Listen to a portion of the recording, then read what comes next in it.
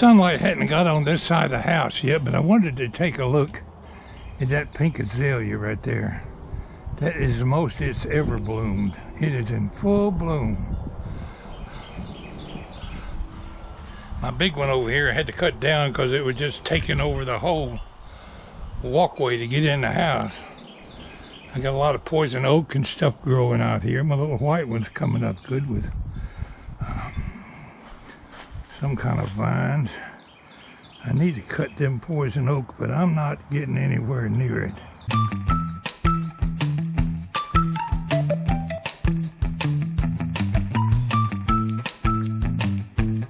But I gotta admit, that azalea is looking beautiful.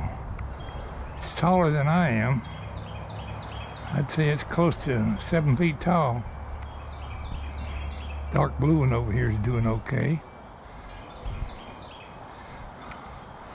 I'd like to have azalea bushes that nice up and down my driveway, but that won't happen in my lifetime. I planted those azaleas, oh,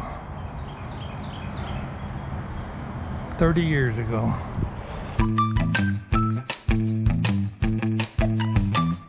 They never get a lot of sunlight here.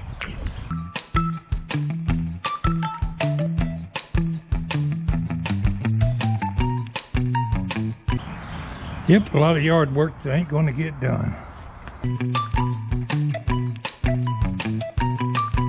Knockout rosebush came back good this year. The Japanese beetles chewed it all up last year, and I'm sure they'll be back out here pretty soon. That knockout rosebush is seven feet tall. I think you're supposed to cut them back every year, and I haven't been doing it. Question to my viewers. Should I be cutting it back? Or just let it go to the moon?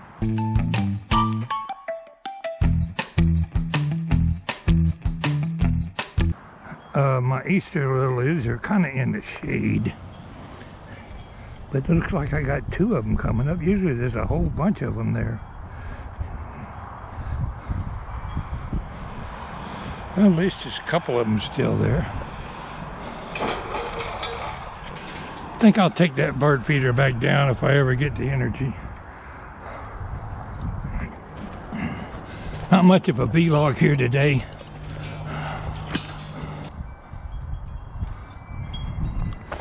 But I am thoroughly impressed with my azalea bush. At the tin man up there looking down at them. Let me get out of the sun, there might be a glare.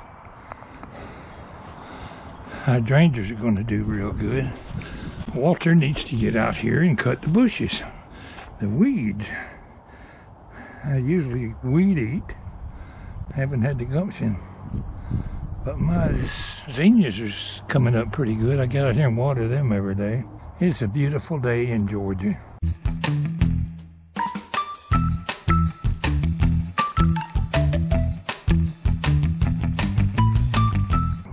Have come back to feed on the feeder.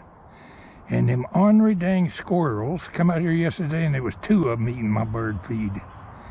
Little sparrow just flew in there and started eating some bird seed.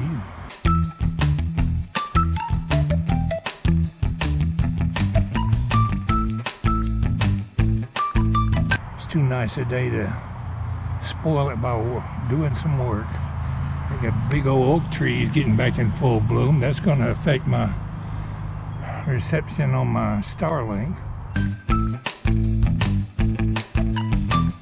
But you couldn't ask for a prettier day in Georgia. Wherever you are, I hope you're having a nice Saturday afternoon. I would be watching the Braves game if it wasn't blacked out in our area. This year, for the first time, we paid uh, for the MLB TV network because we thought we could watch the ball games. But half of the games are played here in Atlanta, so they're blacked out. I guess I can watch the games when they're out of town. $149 shot shot to pieces. But anyways, no, it's only money. My two crepe myrtles out there, not crepe myrtles, my two red tips by the driveway are totally dead. I started cutting one down just last year. And I guess I'm going to have to hire somebody to come and cut them down. I appreciate y'all tuning in to my little useless vlog today.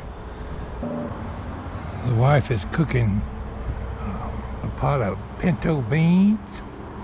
She's got a rack of ribs in the oven cooking.